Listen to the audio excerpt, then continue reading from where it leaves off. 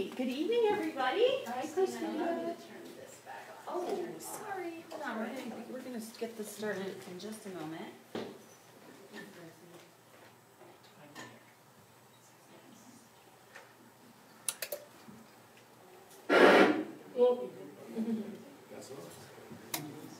Okay, that's gonna take a moment, and we'll get that going.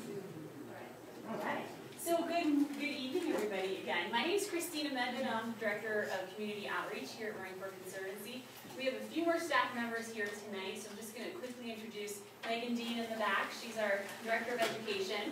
So if you're interested in any of our school programs or any education programs, you can talk to her after Dress's presentation. Um, Heather Lewin is also in the back. Um, she is our Director of Science and Policy, so if you're interested in any of our river-related projects, water quality testing, definitely want to talk to her afterwards. And then we have Rick Lofaro, he is our Executive Director, and Kristen, there she is. Kristen Bailema, she is one of our watershed educators. So we want to thank you all for being here. Quick question for you all. For how many of you is this your first Roaring Fork Conservancy program? Wow. Wait, keep your hands up. Way up. That is all but two of you. Darcy, that is awesome. Thanks, Darcy. Yay. this is really exciting. So thanks everyone for being here. Did you all hear about this through Darcy? Yes. Thank you. so let me just give you a brief little introduction to who Roaring Fork Conservancy is and um, what we do here. So welcome first of all to the, to the River Center. We are a 23, going on 24 year old watershed organization for the Roaring Fork Valley. Uh, you get bonus points if you can tell me what a watershed is. Go ahead. A drainage. A drainage. Okay. Anybody else want to add anything to that? That is true. Yes. It's a place where every drop of water would end up in the same place. and Yeah. And so both of you said is the same is the same word, if you will. We like to add the word um, land. It's an area of land that drains water to a particular river or stream. So everywhere around here, everything's draining to the Roaring Fork River ultimately, and then ultimately into the Colorado River. Um, why does that matter? That piece of an area of land? Because whatever's on the land is going to have either a positive or negative impact on the river, right? So, though we are a river organization, we pay a lot of attention to what's going on on the land. Okay. The good news is that if you take a look over here, we have a, a really nice watershed map here that was created uh, by Sarah Ewell, a local artist, if you're familiar with her. And that's available for purchase also if you're interested. And behind Megan, we have a topographic map of the Roaring Fork watershed. Some quick fun facts for you. The watershed is about 1,400 square miles. It's roughly the size of the state of Rhode Island. About 33% of it is in designated wilderness areas. The thing that I think is the coolest is that those areas are in the headwaters of our three major rivers. Who knows what our three major rivers are? Go. Rick, you're not allowed to answer. Good. Crystal, Bryan, Cameron, and Yeah, so the headwaters of those rivers are in beautiful forested areas, completely protected. What kind of water quality do you think we mostly have here in this valley?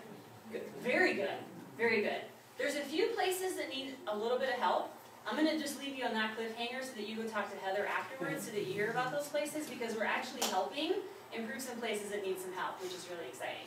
So um, our mission has been for our 23 years to inspire people to explore, value, and protect the Roaring Fork watershed. Are you, uh, who, who here is a rafter? Kayaker? Angler? Just loves to sit by the river? Okay. so here's what we know, and you know this too intuitively. When you explore and have an, an ex expedition or an adventure somewhere, even if it's for an hour or two, you're going to find out things about this place that will make you value it because it just becomes a special place that you had a really cool experience. From that is going to grow this desire to want to protect this place for you, for your grandchildren, for, like, for generations, because you want other people to have that experience. And so, um, one of the ways we fulfill our mission is by our education programs. You can talk to Megan about those. We teach, I want to say last year we taught almost 7,000 students. Now, some of those students were more than once, um, but that's not just school children. That includes individuals like yourselves, because we offer a lot of adult and family programs in the summer, so I encourage you to go check out our website to learn more about that. Um, and then, of course, we have, um, the work that Heather leads, which is our water quality monitoring. Uh, we have twenty-two sites in the watershed we monitor on a regular basis. We submit the data to the state, the state in turn submits it to the federal government as required for the Clean Water Act. So we're paying attention, we're paying attention to the Brook watersheds. But we don't collect data just for data's sake, because we are scientists and we like data. When we find that there's a place that needs extra attention, Heather can take that, Heather or Rick can take that information and can say, hey, you know what, we collected all this data from this particular river. The river's telling us this, okay? Might have a fever, might have an infection, okay? We can, the river, the data tells us that.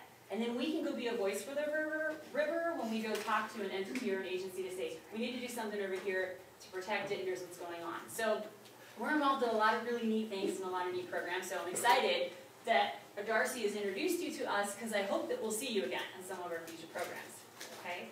So that's just a little bit about us. Um, I'm gonna introduce Darcy here in the next minute, but I do wanna tell you a little bit about, um, this presentation, the Brooksher Watershed Institute. Um, the Brookshers have been donors and friends of the Roaring Fork Conservancy from the very beginning. And it was back, I wanna say it was nineteen ninety-eight, that they came to us and they said, wouldn't it be neat if you guys created this thing called the Watershed Institute? And you would bring water leaders from the region, from the state, nationwide, um, that would come here and talk about water issues or water adventures, something to elevate the conversation about water beyond the Roaring Fork watershed. Okay, we're a small watershed, but our little watershed contributes almost ten percent of the flow to the Colorado River. That's pretty significant when you consider that the Colorado River is feeding 40 million people. Okay, so we have we have a goal here. I think you all agree with us on this and will help us with this. We're here to protect the rivers, um, and one way to do that is to bring people like Darcy to talk about their experiences with rivers. So on that note, um, let me introduce you to Darcy. But you already know this about her. But let's brag anyway, okay? All right, so Darcy is a graduate from Aspen High School. She learned to kayak on the Roaring Fork and Colorado rivers at the age of 19 while she worked at, uh, as a raft guide at Colorado River Raft. Anybody else work there? Heather? so here's the cool thing. Well, it's all cool. This is very cool. Darcy is the first and only woman to kayak the Amazon River from source to. Woo! Uh, she has been whitewater kayaking for 21 years, and for the past 15 years, she has been considered one of the world's best female kayakers and one of the most accomplished expedition kayakers. She has won whitewater kayaking races throughout the world and has participated in and led kayaking, kayaking expeditions in 18 different countries. I'm not done. I heard like, I heard a wow. in addition, she has been a kayak, raft, and adventure travel guide for two decades and has owned and operated two kayak guiding businesses. Having taught and guided, guiding pardon me, having taught and guided kayaking in Ecuador, Colorado, Arizona, Alaska, Bhutan, Nepal, Kenya, and Idaho, she has built a reputation with paddlers throughout the world. So join me in welcoming Darcy.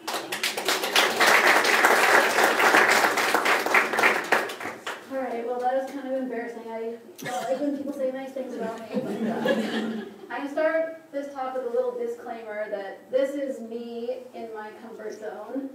And when I'm doing stuff like this, I feel very at ease and like in my habitat. But standing up here speaking in front of you all is very terrifying for me. So bear with me if I seem a little nervous and feel free to shout at me if I'm talking too quickly, which might happen. Um, here to talk about kayaking the Amazon River, uh, which I did in 2013 with Don Beveridge and David Midgley. And when people hear that and then look at me, there's often a bit of a disconnect in their brain. Um, I gave this talk in Edwards on Monday night, and before the show, a guy came up to me and said, are you the presenter because you don't look big enough to kayak the Amazon? and I didn't really know what to say to him. I should be used to this by now because this sort of thing happens to me all the time, but it still catches me off guard. But turns out you don't have to be that big to kayak the Amazon. And turns out you don't have to be a lot of things that people might expect you to be in life. Um, I'm going to start with a little introduction of the river to begin with. So the Amazon River is more than 4,000 miles long. And that's longer, that's more than 1,000 miles longer than the distance from New York City to San Francisco. There's a lot of debate in the geographic world about whether the Amazon or the Nile is the longest river in the world, but all geographers agree that the Amazon is the world's biggest river by volume. So it holds 20% of the Earth's fresh water, and it's bigger than the next six biggest rivers on Earth combined. So stop and think about that for a minute. It's kind of hard to imagine a river so wide that you can't even see across it. Um, we don't have a very good frame of reference for that, but I'll tell you that it is a lot of water. This is the Amazon River, not the ocean. Um, for comparison, I think most of us have an idea in our minds of what the Colorado River looks like in the Grand Canyon. And that's a big river for western US standards, but low water in the Grand Canyon is about 7,000 cubic feet per second. And low water on the Amazon is 7 million cubic feet per second. So we're talking about a lot of water. Um, I spent about five months on this river watching it grow from this wide to this thing here, and I still have a hard time picturing it or grasping it, how big this river is. So a lot of people want to know what was it like kayaking down a massive river, and um, I'll try to paint a picture for you. Um, who in the audience has had a really long, tiring day, a day that just left you totally drained?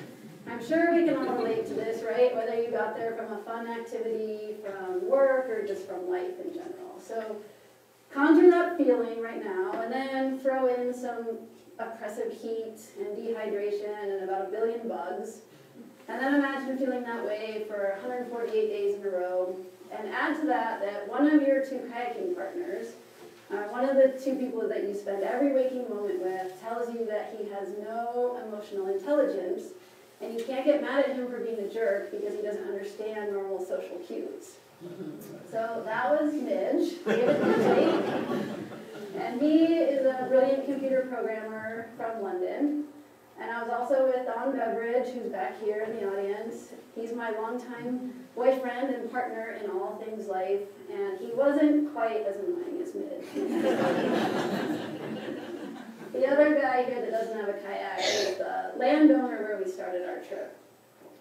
But, um, so a lot of people want to know, like, why would I want to do this to myself? Why would I want to kayak the Amazon? And I'm going to start the answer to that question with a quote from Oprah, because who doesn't love Oprah? Um, she was recently on The Daily Show with Trevor Noah, and Trevor asked her, what is the common characteristic of successful people? And Oprah answered, People get to where they want to go because they know where they want to go. Most people don't know where they want to go. A lot of people are going and being driven by what they think they should do, by what other people say they should do, by what they have carried in their minds for a long time that they should do. But the most important question you could ever ask yourself is what do I really want? And I really like this simple definition of success. And of course, Putting it into practice is not so simple, but at least the idea behind it is simple. And I knew from my early 20s that what I wanted to do was kayak.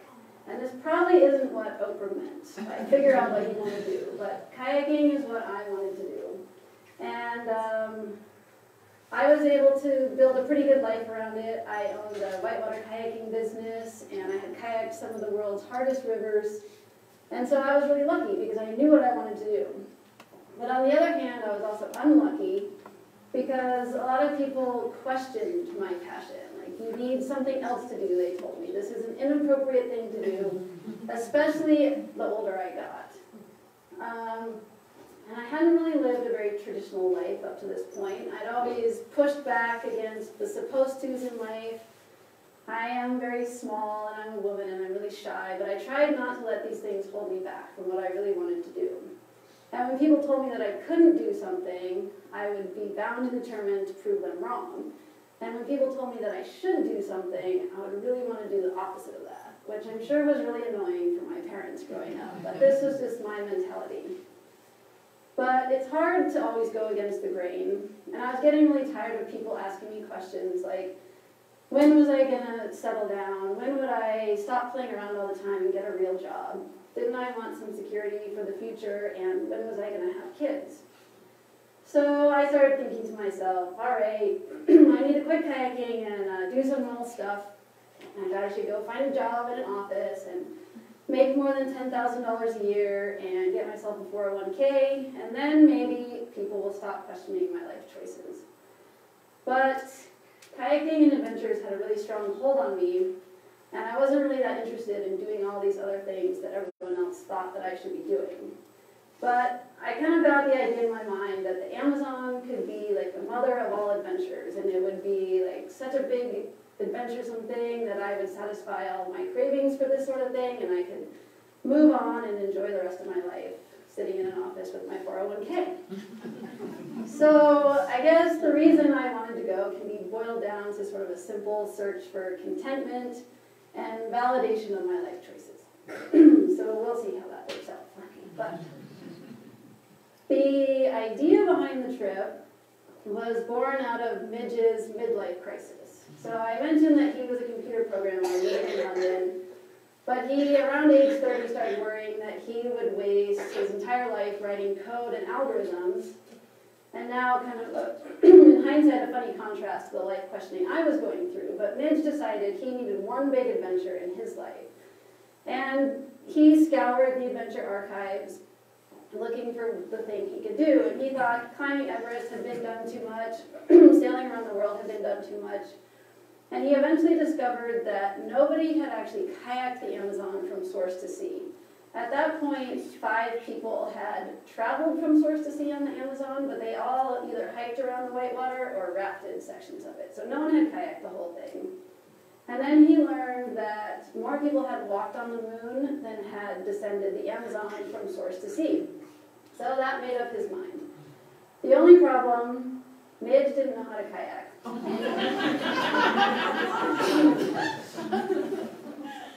He'd actually never even sat in a kayak when he came up with this idea, and he'd never been camping before in his life either. So Midge had a lot to learn.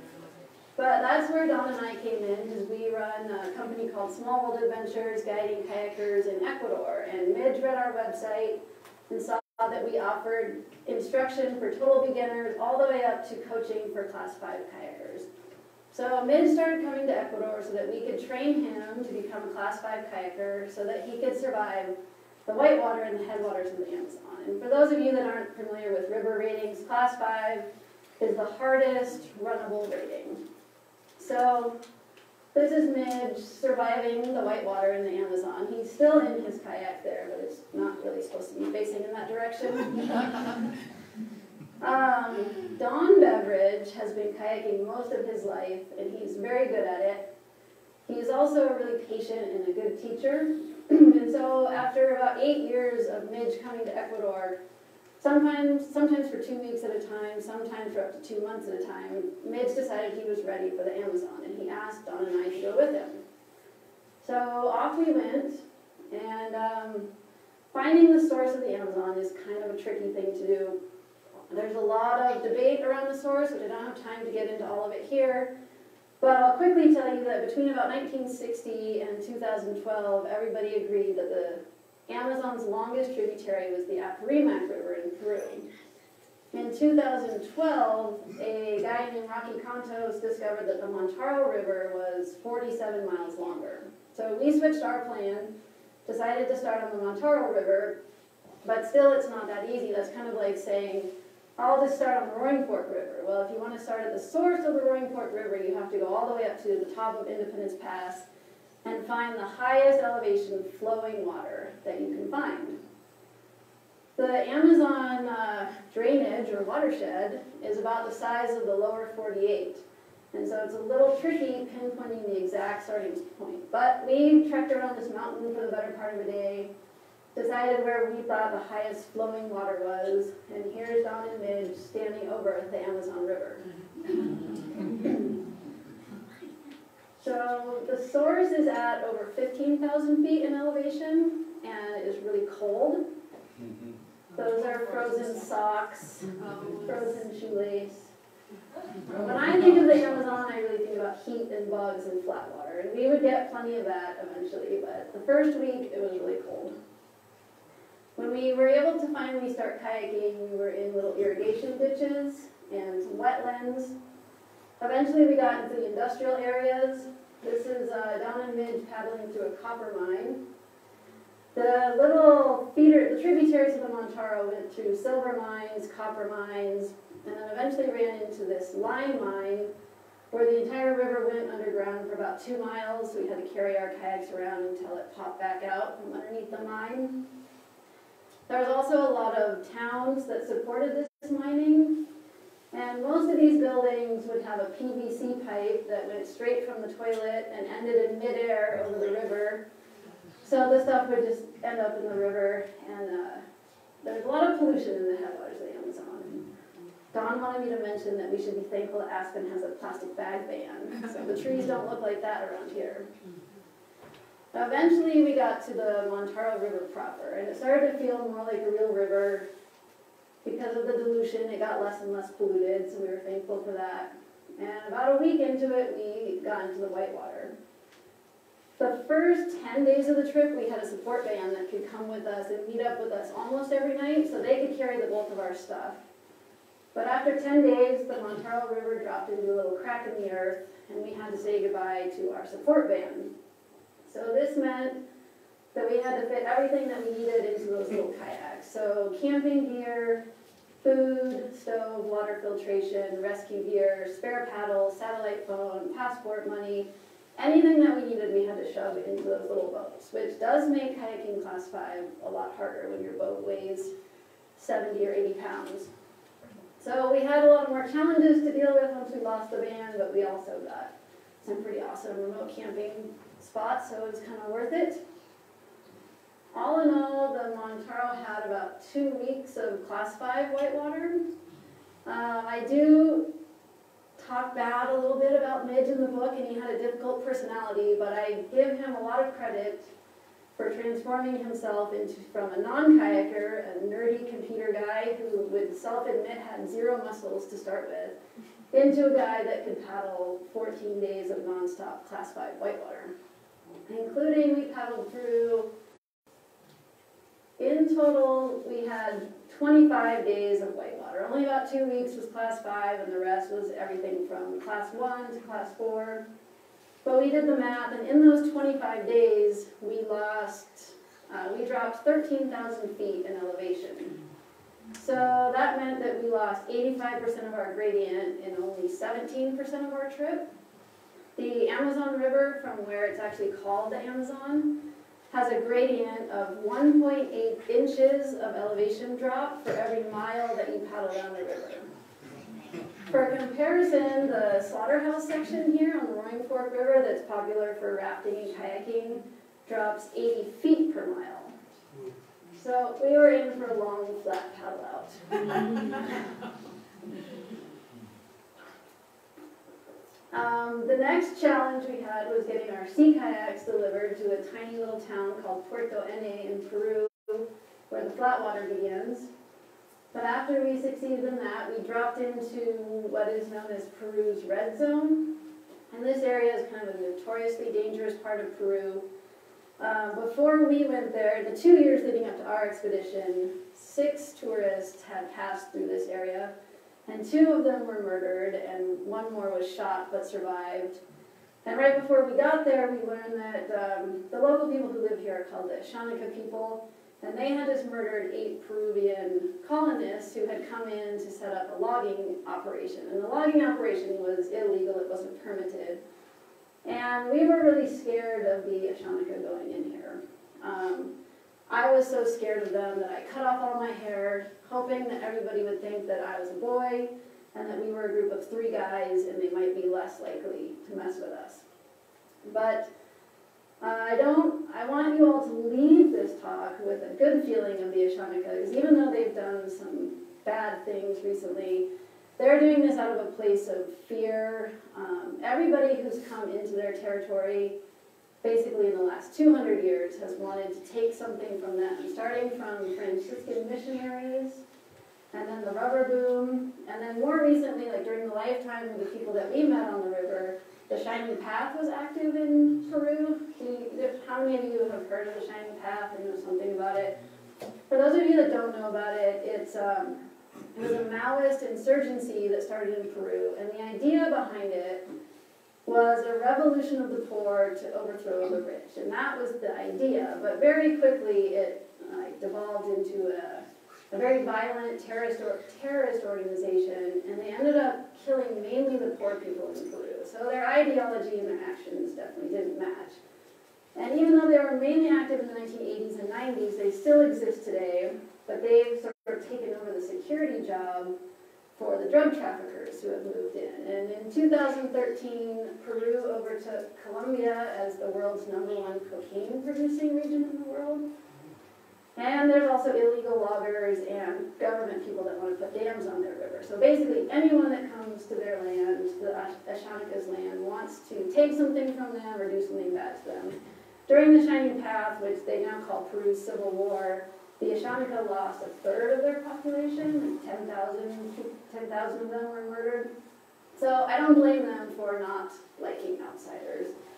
And for us, through a combination of prearranged permission letters that we got from the Ashaninka, basically just telling them what we were doing so they wouldn't be worried when they saw three weird people kayaking through their land.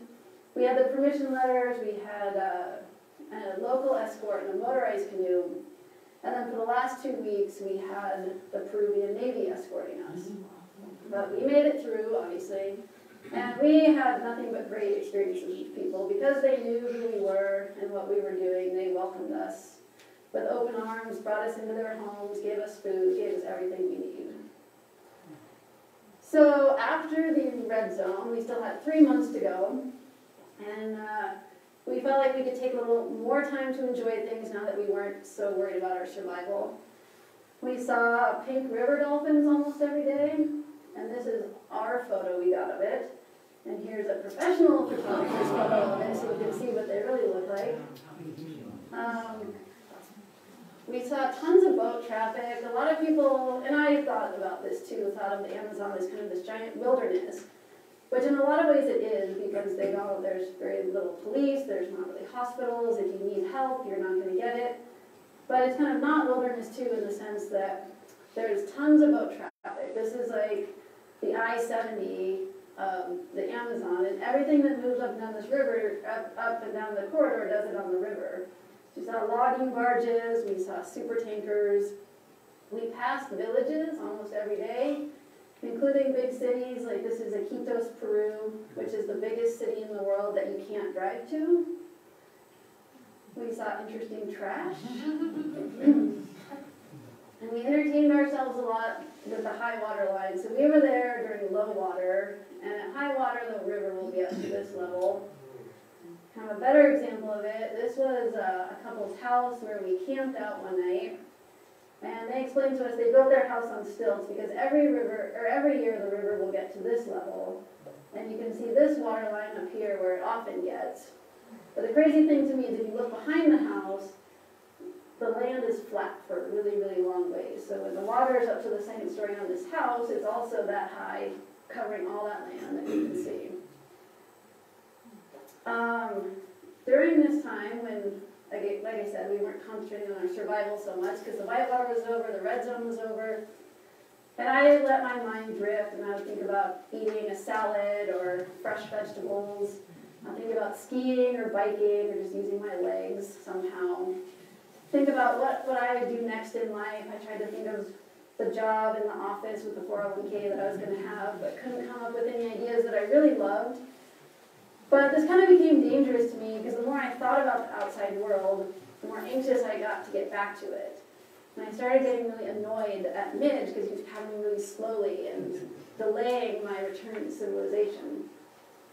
And a lot of people say that adventure is a mindset. It's a roll with the punches attitude that can expect the unexpected and that can deal with problems on the fly. You know, meaning like a little hiccup on a trip can either be a disaster or a fun adventure, and the only difference is your attitude. Well, on about day 120, I had a pretty bad attitude, and I was really pissed off about everything. And I let my emotions get the better of me, I saw a plastic jug floating in the river, and that pissed me off too, because there's more trash in the river. But I took my kayak paddle and I tried to hit it, and I missed, and I tipped over in my kayak, And as I'm swimming around there with all my stuff floating away, there was nothing left to do but laugh at myself and realize that this wasn't such a bad place to be stuck. After my little breakdown, we still had a little more than a month to go. and we started hitting the tides. Um, tides come up the Amazon River more than 600 miles. And when we first encountered them, we could still paddle against them. They weren't that strong. But eventually they got so strong that we could no longer paddle against them. So we'd have to sit on a beach and wait while the tide was coming in. We also got storms pretty much every day, and we learned to anticipate the storms coming because we'd hear the howler monkeys crying. We'd hear them off in the forest, and then five or ten minutes later, after the howler monkeys would stop crying, we'd get hit with a barrage of wind and rain and lightning, and it kind of added a longed for adrenaline rush, but it was a little bit scary too because when we were in the middle of a big storm, it cut visibility to almost nothing, and we were sharing the river with some really big boats, so it was a little nerve wracking. We also passed Manaus and the meeting of the waters. So this is the Rio Negro coming from this direction. This is the Amazon River coming from this direction. The Rio Negro is the world's seventh largest river, and because of differences in the temperatures of the two river and sediment load in the two river, they don't mix for more than ten miles downstream, so there's just this line going down the river. Eventually, with maybe two weeks to go, we kind of left the high, it was dictated by high and low tide, not by rainy season and dry season anymore. So when the tide started coming in, we also kind of lost solid ground. Now it was mostly mangroves, and mud flats. Like no more rocks, no more sandy beaches. So when the tide would start coming in, we'd have to look for someone's dock and try to ask them in our pretty bad Portuguese if we could just sit on their dock for five hours. Part of the reason communicating this was hard is because they would be like, why do you want to sit on my dock for five hours? And it was kind of hard to explain to them what we wanted to do. But eventually we'd make it, and they would let us. There's kind of a typical village down in that zone with everything built on stilts and everything connected by boardwalks. Once the people realized that we just wanted to hang out for five hours, they were usually really nice to us and took us on a tour. These guys were a shrimping village, and this guy's building shrimp traps right there, and it's still freshwater at this point, so it was a freshwater shrimp. Um, and then we were getting really close to the ocean. We had a support boat for a while, and they got to the point they said, we can't go with you any further because conditions are too rough. We thought we were about two days from our ending point, and we had been warned by previous Amazon expeditions that once we got to this place where there was an old lighthouse, that there would be nowhere to camp. So they told us to be prepared to paddle all night or do something really creative for sleeping. But we of course thought, like, no, we're smarter than all these other people, so let's just go out there, we'll find a place to camp when we get there. So we paddle out there, and we're looking for a place to camp, and all we can find is mangroves and mud flats, and I think, well, how bad can the mud flats be? Let's go out here. So I get out of my kayak and start walking across this mud flat, and I really immediately sink up to here. So then I'm like body crawling across the mud, and I made it from about here to the wall and back, and that took 15 minutes. And all I had accomplished was covering me head to toe in mud, which was now stinging, and all the I was surrounded by brackish salt water, so I couldn't wash off. So after that little expedition, we decided to find a little basalt rock that was sticking out, and we made our dehydrated meals. And we ate dinner, and as we were eating dinner, the rock went underwater because the tide was coming in. so then we got back into our kayaks and said, dang it, we are not smarter than all these other expeditioners. so we sat in our kayaks, we found a little bay, sat in the kayaks from about 7 p.m. until 1 a.m. when the tide started going out again. And eventually our rock popped back out and we got on it and went to bed. Now this was the next morning when the tide was all the way out. So these are the mud flats that I tried to crawl around, and this was our rock that we slept on. And of course, in the morning we wake up and the tide's coming back in. And so we had realized weeks ago that it wasn't worth paddling against the tide.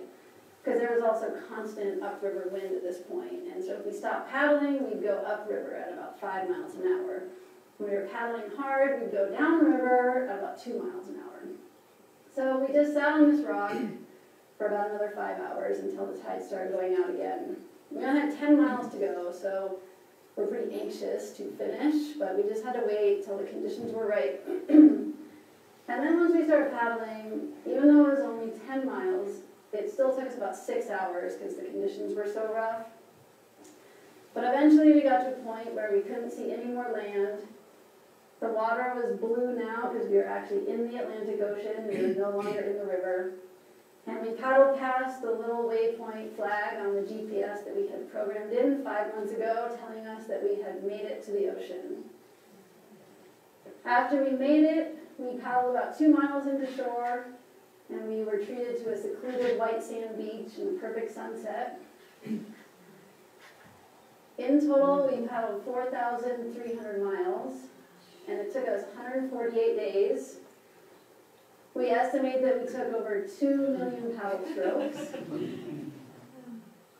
We're the first group to do the entire river, to do source to sea in kayaks. Midge is the first British guy, British guy to kayak the Amazon. I'm the first woman and the first vegan to kayak the Amazon. And Don is the first guy to do it because his girlfriend made him.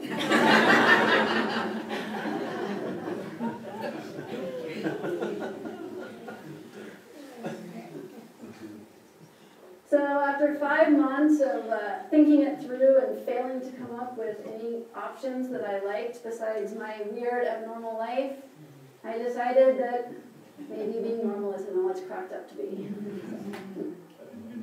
The end.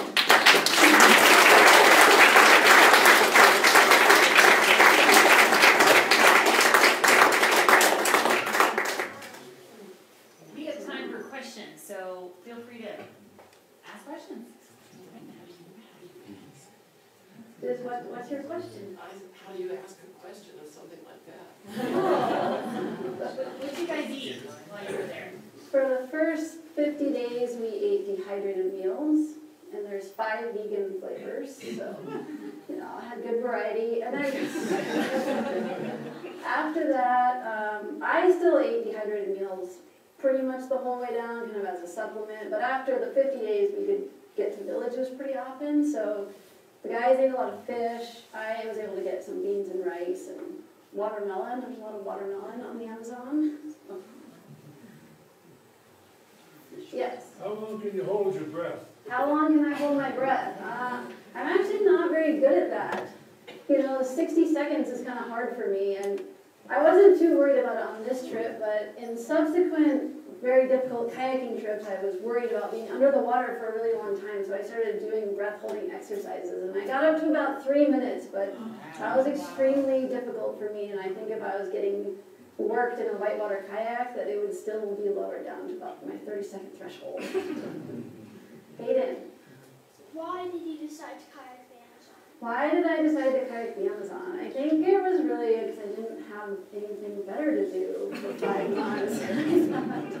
Why not? No, I always, from the time I was a little kid, I always really liked adventures. I liked unknown things.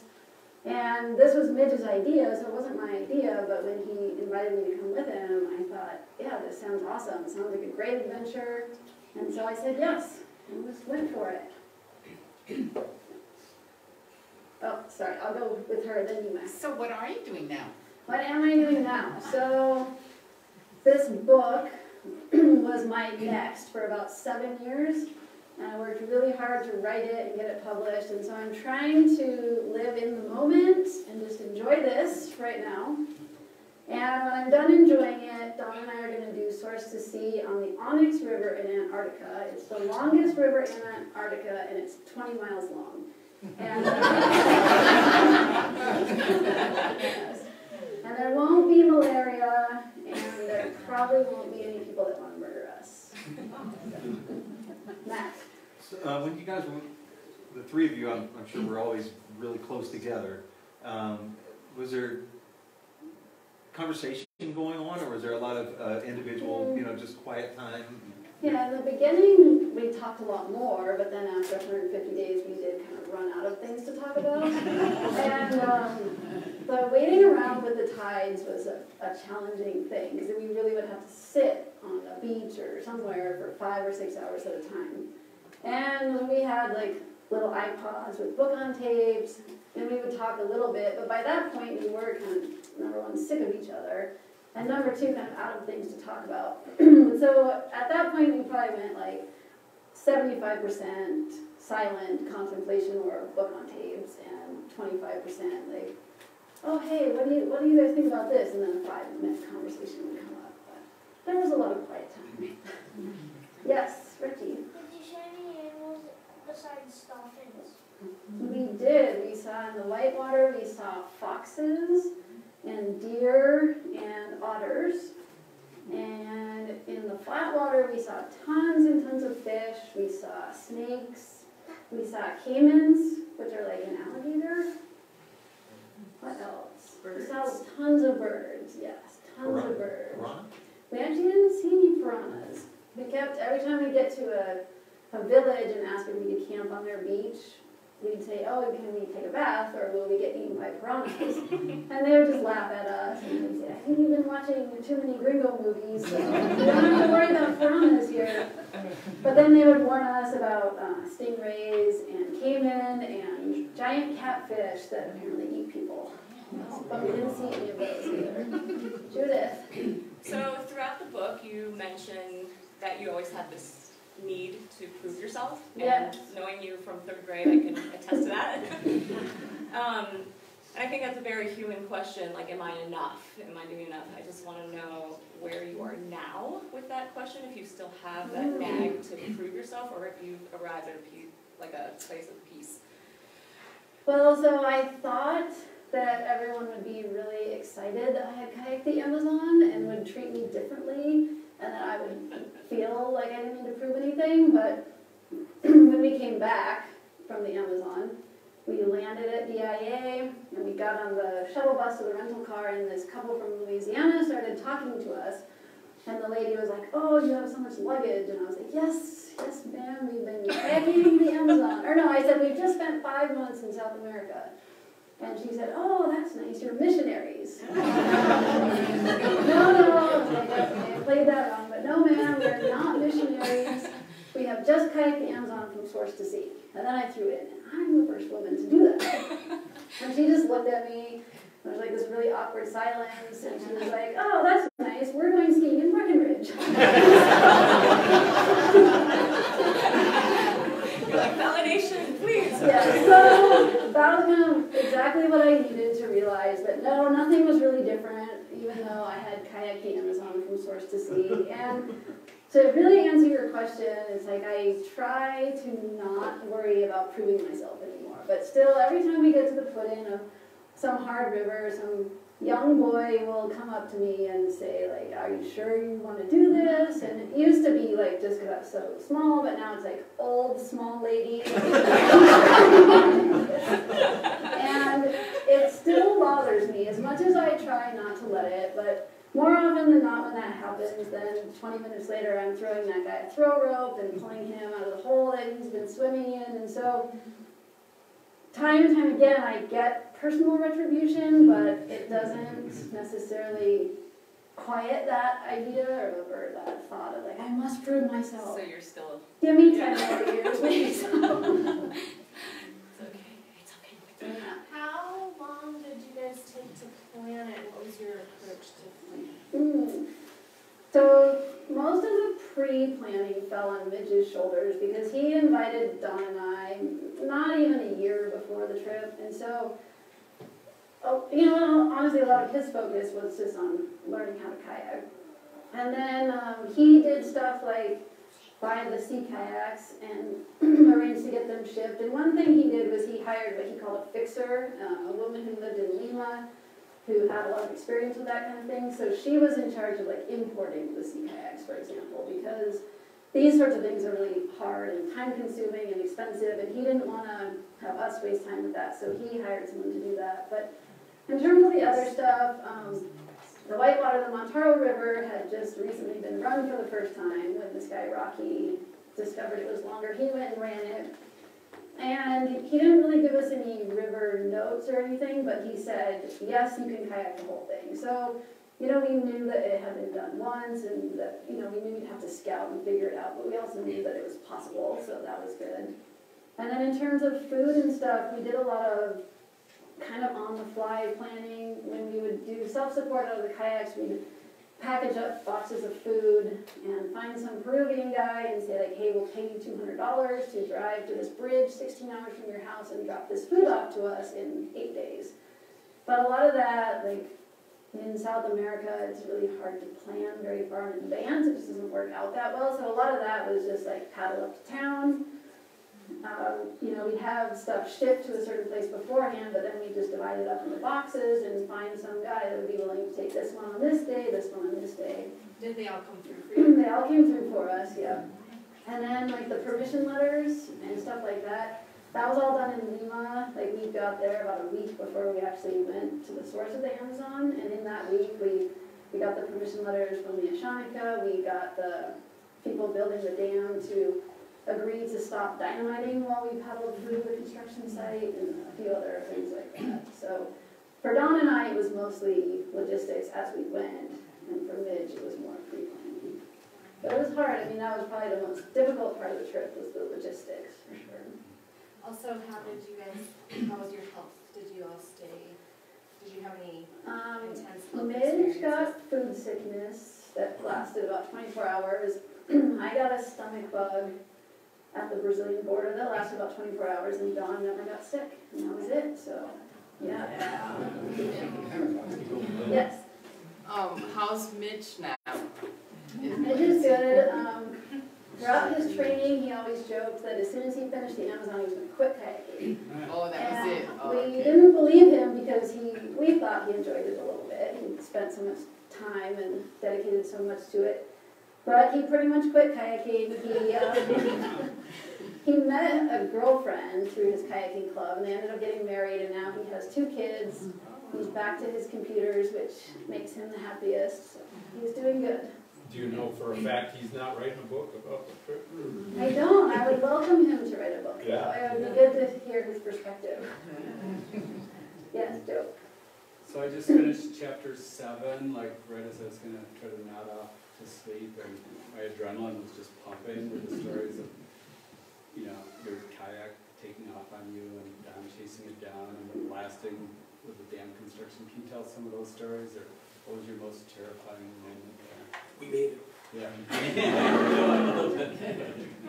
Yeah, probably the most terrifying day was paddling through the dam construction site. And we did get them to stop dynamiting, which helped our cause, but it was still like a very unnatural riverbed because they were blowing up pieces of rock, like the sizes of school buses that were falling into the river. And the portage routes weren't much safer than the kayaking routes, and so obviously we did make it, but we had a few moments where we weren't sure that all of us were gonna make it, but I don't wanna ruin the books. That was. Maggie. Um, so speaking about kind of health and your body and how it all functions well on a trip like that, how do your legs deal with being in a kayak for that long every day and how did you kind of counteract that? Um, we didn't, we weren't smart people and we didn't like do jumping jacks or something on the shore at night like we probably should have, but yeah, your legs get amazingly sore, which is weird to say because you're not using them at all, but just sitting in one position. And you know, in the whitewater it wasn't bad because we got out of the kayaks a lot to scout or to portage and we were walking around a lot, a lot more. But in the flat water, we're just sitting in one position all day long. And um, I discovered that Peruvian women are really amazing volleyball players, so I got to play about five volleyball matches, which helped my legs a little bit. But of course, after not using legs for two months and then playing volleyball, they'd be super sore the next day. And, but yeah, we didn't do much to counteract that. We just let them atrophy, be sore. Don and I had like a week in Rio at the end of the trip because we couldn't get flights home in time. And we did some hiking around the granite domes, and we definitely felt what we had done to ourselves then. But we came back here and had a winter of skiing, and they recovered. So. Oh, you're on. did you eat dehydrated food? Why did we eat dehydrated food? Because it's light, it comes in a bag about this big, so it's light, it's small, you can shove it in the back of your kayak, and then when you're ready to eat it, all you have to do is boil water and pour it in the bag, and then it makes food. So it was easy and it was light, that's why. Good question. I was curious about your parents' reaction to the letter. They didn't read the letter until they read the book. and by that point, they knew that I had survived, so. Oh, did you write them letter? Yes, I wrote them a letter. As we were leaving Lima, I started to feel like maybe I was being a little irresponsible going in with so much unknowns. Mainly the white water, I mean, I was worried about it, but that was like a known thing. Like, I know how to deal with white water. The red zone and the people, um, that part was made me more nervous because people are more unpredictable, they have guns and stuff like that. So before we left Lima, I wrote my parents a letter hey, if you're reading this, it's because I did come back from the Amazon, but don't worry, enjoy your life, goodbye, blah, blah, blah. And I sent it to my friend Larry, and I said, hey, Larry, if we die, can you please send this to my parents? Luckily, it didn't come to that, but, no, I was covering my bases, just in case. Did you write them to Yeah. It was to Ann, Bill, and Lacey. I didn't leave her out. So had you uh, decided before you made the trip that you would write a book about it? Or when did that? Um, kind of. I I always liked writing, and I'd never I'd always written short articles and stuff. But I did think to myself, well, if we make it, this will be finally something worth writing a book about. So I did keep a journal the entire time, thinking that I would probably write a book. But I didn't actually decide that I was gonna finish the book until I wrote the last word, and the publisher mm-hmm. said yes. So mm-hmm. the whole time it was a struggle. It was like, oh, should I be doing this? This book sucks. It's too hard. It's too long. But I persevered. Here we are. Mm-hmm. Yes. Can you talk more about the final like moments when you were with Midge and your? I mean, how was that? Because I know there was strain. So was it like When we like finished. yes, or- when you yeah when you finished and then you said goodbye to him? Was that like a yeah we're done or like you wanted to punch him in the face? So I mean, with the whole trip, we went back and forth between all liking each other, enjoying each, each other's company, and wanting to punch each other in the face. The actual moment we finished, the ocean was really rough, and we kind of all went yay, but we couldn't even high five because it was like too the waves were too big and stuff. So we turned and we went to beach to the beach, and that night on camp, yeah, we all had a nice time together. It's Don brought a, or Midge brought a bottle of champagne for him and Don. We all had dinner together. It was like a celebration. And then, um, yeah, after when we were saying goodbye, I mean, like I would say that we're still friends. Maybe not after he reads the book. But I'd say we're still friends, but um, I don't know. It's hard. I think if you spend 148 days with anybody, you're gonna have hard times, which we definitely did. But we also had really good times too. Yeah, there's a question back there. Yeah, um, two things. Um, I love the way you constructed the book. Oh, thank The you. glossary, the descriptions of, uh, different categories, and the way you personified the different, only on chapter three. Well, thank I you. can't put it down. Um, so just the way you helped, uh, people who might not be experienced kayakers to understand what you were going through. I heartily recommend it, and the second thing is, I'm curious whether you can see a movie. Whether I can see a movie. Well, when we came back from the trip, a lot of people said, oh, it's too bad that nobody died or got seriously hurt, because that would have made a much better movie. So, yeah, I think it would be pretty cool if they decided to make a movie about it, but I do worry a little bit, like, we were successful and maybe we didn't have enough drama to make a, a movie, but the, the agent is pitching it, so we'll see what happens. Yeah, it would be cool. Yes, Anders. How's your four oh one K? It's not very good right now. I'm still working on it.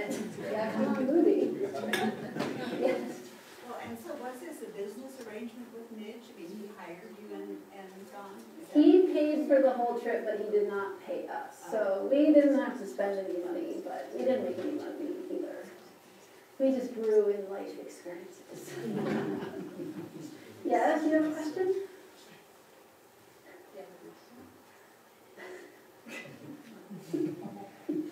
you can think about it. Did you have a decent map of the river before you started to show white water and waterfalls and such?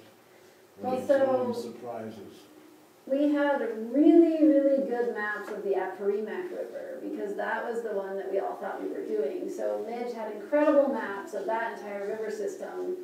And then about a year before we went, when we switched plans to the Mantaro River, there were not good maps of the Mantaro River. So we had a couple topographic maps, but they only showed certain sections of them and it wasn't a complete map of the river. And so we did talk to uh, Rocky Contos, who did the first ascent of the Mantaro the year before us. And he, you know, he said there's some really serious whitewater, there's some stuff you're gonna have to portage, but you can figure it all out. So we kind of knew going into it that there wouldn't maybe be anything, any, no weird surprises that we wouldn't find on any other rivers that we had run, but yeah, we really didn't know what we were getting into on a day-by-day basis. Um, We knew the construction site was coming, we knew a few access points from our maps, but that was about it. It was a real adventure and exploration when we were in the river. Yes? Why did you decide to write the book? Why did I decide to write the book? Because um, I've been pretty lucky my whole life and had really good support. And even with that support and with that luck, a lot of people told me, like, you can't do this. Darcy, you can't play volleyball because you're too short. Darcy, you can't kayak because you're a girl or you're too little. And I luckily didn't listen to these people and I just did what I wanted to do. But I wanted to write the book to make sure that other people don't listen when people tell them they can't do stuff. Except listen to your mom.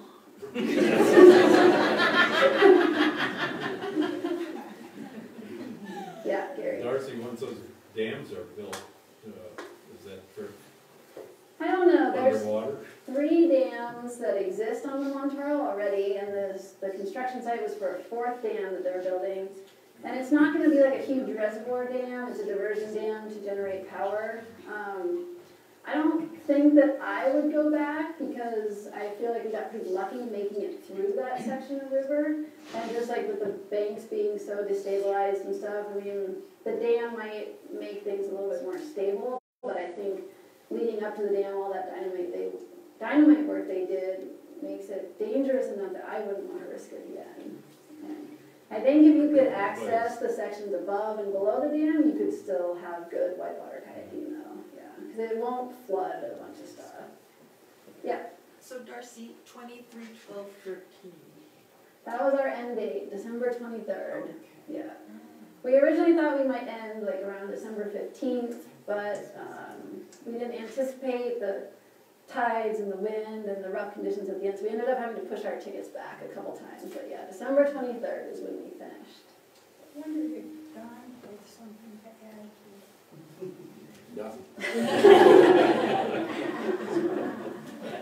Well, I guess the, the kayaking part of the dam flooded, ruined it. The dams they have there are, uh, pretty short ones. We paddled through three reservoirs. It took us an hour, maybe two hours across a reservoir. We did have permission, but we had to break into a dam and crawl down the spillway, go through a barbed wire fence. Then we put back in and have more rapids. So I think the river corridor is still gonna be interesting. It's not gonna be a Lake Powell type ruin, Yeah, a thousand, five hundred miles, but it's gonna be, uh, one more dam to trespass over. yeah. Was there, uh, you timed it so that you would be there at low water, would it have been pretty much undoable at high water? I think so. We, um, the, the two weeks of class five whitewater, that part would have been unrunnable uh, with much more water. You know, it was, it was good while we were there, it was appropriate water level, but I think with maybe a meter more water, it would be unrunnable. And it was, it was really continuous, so there weren't, it wasn't like a rapid and a big pool, it was just like rapid after rapid after rapid. And yeah, so we started the end of July, which is pretty much lowest water you can get, kind of the end of the dry season there, and I think that was a good choice for surviving the whitewater. Yeah. Reggie, you have Why good you, questions? you, you, you, you said you, you ride on the Amazon rivers if there's such dangerous places? That's a good question. I don't know the answer to that one. But I guess, uh, she, uh, he asked, what time, why did I go to the Amazon River if it's such a dangerous place? And that is a good question, but I think facing danger and overcoming challenges is an important part of all kinds of life, whether you're doing it on the Amazon River or at school with your friends or your teacher, or anytime something seems a little scary, it's good to see if you can rise up and face the challenge. Christina? We have a question from Facebook. Nancy Campbell's asking what some of the most beautiful sights were on your trip. Tell Nancy that if she didn't come here, I'm not answering her question. Maybe she has. She's keeping us all safe. Um, sorry, what, the question was what were some of the most beautiful places? Uh, all of it was really beautiful, I guess except for the, the mines. Um, some of the whitewater canyons were some of the most stunning I'd ever seen. The Andes are a really amazing mountain range, and this river cuts through some of the hardest bedrock of the Andes. So it was amazing canyon while we were uh, in our whitewater boats. Down in the flat water, it was green trees as far as you could see. We had really cool storms that I really enjoyed, and the birds flying around, the fish jumping, the dolphins jumping. It was all pretty nice. Now, does anyone that actually came to the event have any questions? We were told you were very happy to do that, very compliant. Uh, So I shouldn't be bullying this person. I'm sorry, Nancy. Um, so, since you all taught and, and trained Midge, is that his name? Did you feel confident that he had the abilities necessary?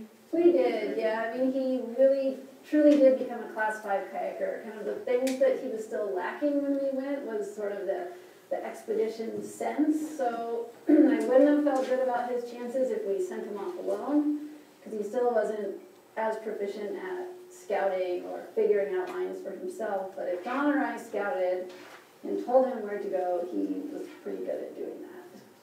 Yeah. Can you talk about rescue? You mentioned you had like a, a spot device, like say worst case scenario, how would have someone reached you? So we had a satellite phone. we all had spot devices, which are satellite communication devices where you can push an SOS button. And like if you did that here in this valley, um, search and rescue would come get you. And then if they decided it was necessary, they would send a helicopter, flight to life to come get you. I don't know if anyone actually would have come in the end.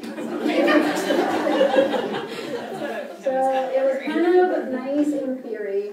We also bought global rescue insurance, which theoretically means that, you know, if you press that SOS button and you have global rescue insurance, that the military of whatever country you're in will come and help you.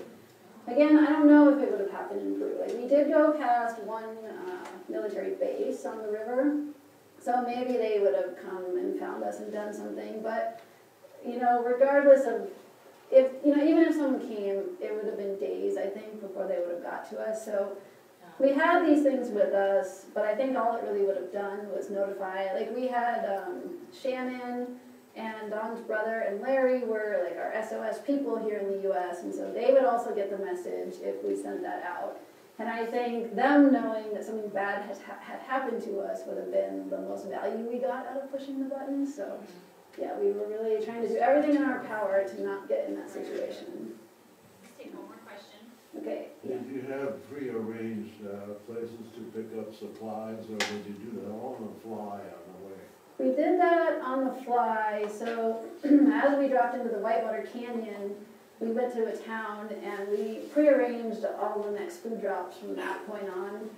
When we left Lima, we had like a duffel bag full of gear for the flat water that was different than the gear we needed for the white water. We had that shipped to where the flat water begins. We did some pre-arranging of that stuff, but most of it was done on the fly. You know, we'd get to a village and we'd say, okay, here's stuff for two weeks worth, and we'd get it into the right hands to hopefully get it delivered to us.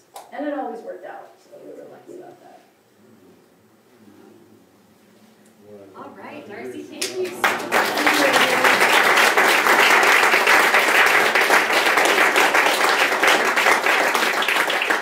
Who's for an adventure? We have an adventure for you this spring if you're interested. It's only two hours though. Uh, we do an annual community river float from, on the Roaring River from Carbondale to Glenwood. So if you wanna get your feet wet with us, that would be a great opportunity for you to join us. The neat thing too is that, um, every boat that goes rafting gets a boat ambassador on it. So it might be myself, or Heather, or Rick, or a Colorado Parks and Wildlife fish biologist, or a water attorney, so any questions you have about Colorado water, or what's that bird, like, you, can get your questions answered, like right there, it's like you have your own naturalist on board, which is pretty fun. Um, in a few weeks, on April 9th, we also have another Watershed Institute. Have any of you heard of The Feather Thief, the book called The Feather Thief? Excellent. Who said that? Excellent, yeah. So you all have two weeks, no, a month. You get a month to read it um, because the author is coming here by our invitation, and he will be having a book talk or a author talk and book signing both at the Basalt Library and at the Pitkin County Library in Aspen. So those details are on our website. I think registration goes live in the next few days.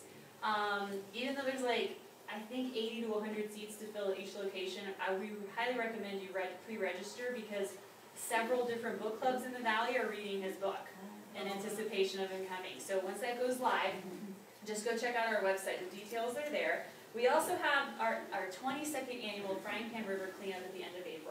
And I, how many of you know that this is the 50th anniversary of Earth Day this year? Yeah. So come join us for the cleanup. Um, it has actually become so big that it's more than just a frying pan cleanup. We also help clean up the Roaring Fork River and different boat ramps around the valley. And we feed you a free hot breakfast before you actually get on the river to, to clean up, or next to the river to clean up. So, and we also have beginner fly fishing camps and a lot of other opportunities here. Um, please check out our website for more information. Darcy and Don are here selling this book, and she will be out in the lobby. If you want to talk to her some more, ask her questions, get your book signed, um, you can do that there. So thank you again for being here, Darcy.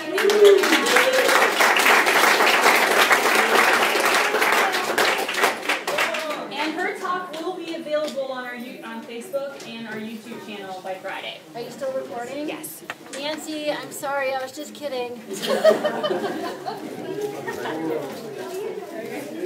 Coming.